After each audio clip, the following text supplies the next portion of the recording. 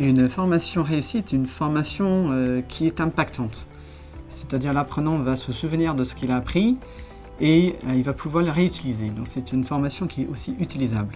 C'est-à-dire que l'apprenant va développer des compétences de savoir-faire ou de savoir-être. Donc ce qui va apprendre une nouvelle compétence ou de nouveaux comportements.